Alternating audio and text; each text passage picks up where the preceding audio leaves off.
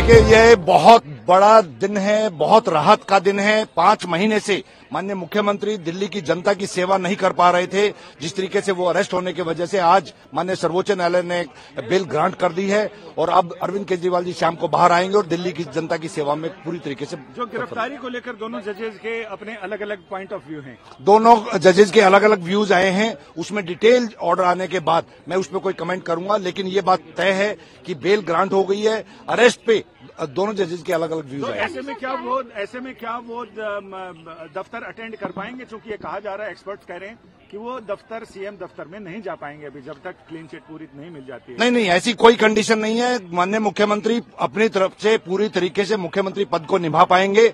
ऐसी कोई कंडीशन अभी तक मेरी नॉलेज में नहीं है। बाकी डिटेल ऑर्डर आने के बाद उसके बारे में एक्सपर्ट ये कि बाकी ईडी में जो शर्तें थी उसमें ये थी कि एक तो वो, जाँच में सहयोग करेंगे और क्या क्या शर्तें थी उसमें? जाँच में सहयोग करेंगे जब भी कोर्ट्स में हियरिंग होगी उसमें इन पर्सन या एग्जामेशन अलाउ करेगी कोर्ट तो, तो उसके अकॉर्डिंगली फॉलो करना पड़ेगा।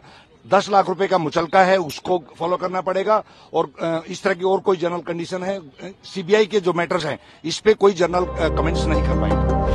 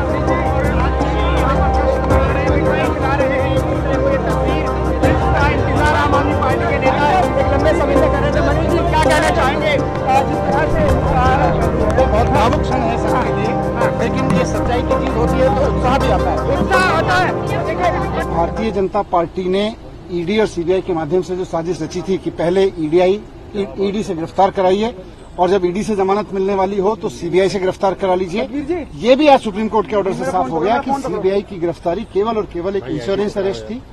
ईडी की जमानत से केजरीवाल जी बाहर आ जाएँ उस उनको रोकने के लिए थी।